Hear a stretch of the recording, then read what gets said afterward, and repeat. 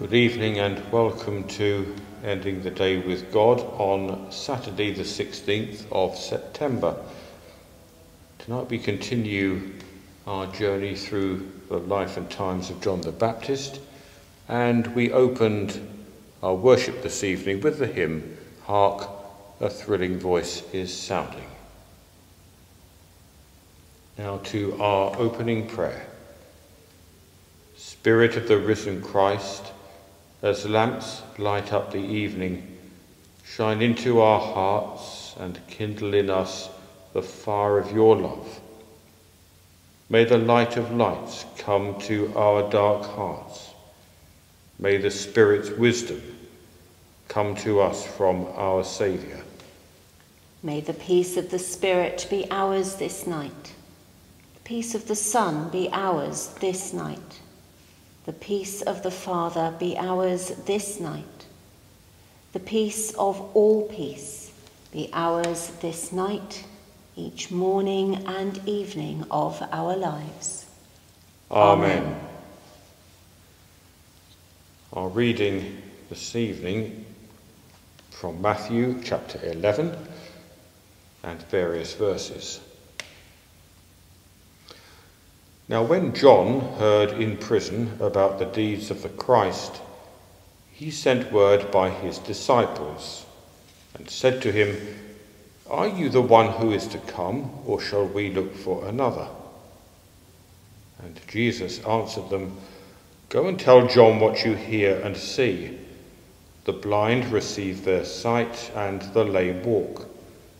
Those with leprosy are cleansed, and the deaf hear and the dead are raised up, and the poor have good news preached to them. What did you go out into the wilderness to see? A reed shaken by the wind? A man dressed in soft clothing? A prophet? Yes, I tell you, and more than a prophet. Thanks be to God. We now reflect on this reading and the life of John the Baptist. Now imprisoned by Herod, it seems that the bars of John's cage have rattled him, and he needs confirmation that all he has been doing, all he has stood for, is real and reliable. It would be no surprise if, imprisoned for the courage of his convictions, he questioned Jesus' authenticity. In his dingy, dark, and doubtful place, he needs to know. Jesus responds with clarity and compassion. His answer is in biblical code, referencing the messianic prophecies of Isaiah. Look, he says, what I am is evidenced by what you see. So the question about who Jesus is, are you the one? Is answered in terms of what he does heal the sick, preach good news, and so on. Then, as Jesus often did, he turns the question around, asking the disciples, What did you expect to see? A nice man? Someone with no scruples who caves in under pressure? Thus, John's question becomes the catalyst for enabling Jesus to testify about him to return the favour, as it were. The evidence that Jesus is the Christ is found in the healing and seeing and preaching. The evidence for John being the prophetic forerunner is his integrity, his conviction, and his appearance. What you see is what you get, and what you get is what you see. Jesus tells them and all posterity that John is no fickle wanderer but a man of supreme integrity, greater than the prophets before him. What an accolade from the Saviour of the world. May we, like John, have our questions answered in words and deeds.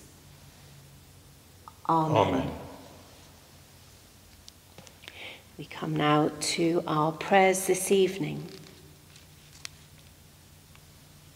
As we think about our aching world.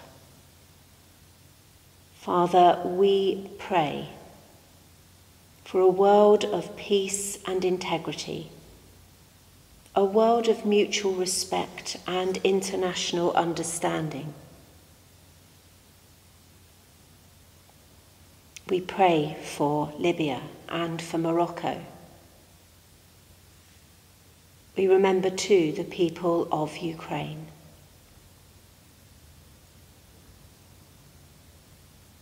Father, we bring to your to you our love and our concern for our families, our friends and our neighbours. We remember this evening those facing change or those feeling isolated.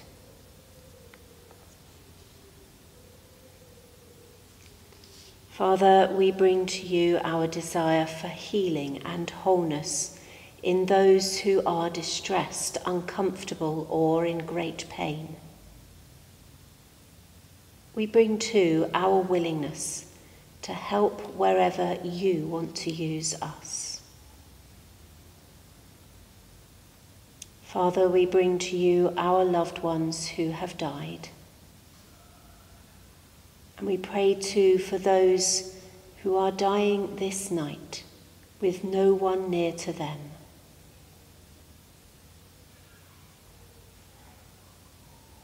Father, we bring to you our thanks for life and all its blessings, for the experiences we learn from and grow through. Amen.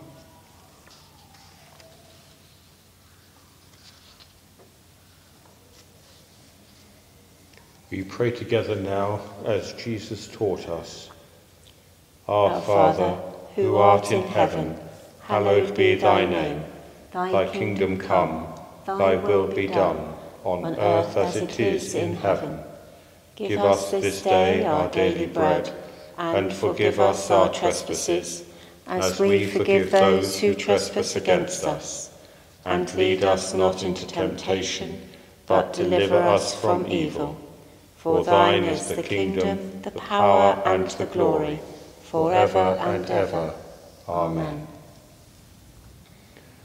Great Spirit, who broods over the sleeping world, as we sleep this night, Restore the garment of our self respect and remake us in your beauty, renew in us as we sleep.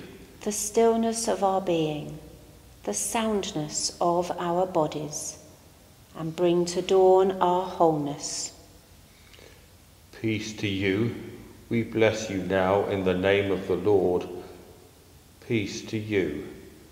We bless you now in the name of the Prince of Peace. Peace to you. Amen.